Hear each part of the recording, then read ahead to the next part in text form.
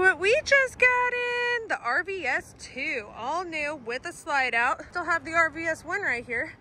So, you definitely have options. Come on in, Bobby Combs RV Center, 1212 West Apple Way, and check them out.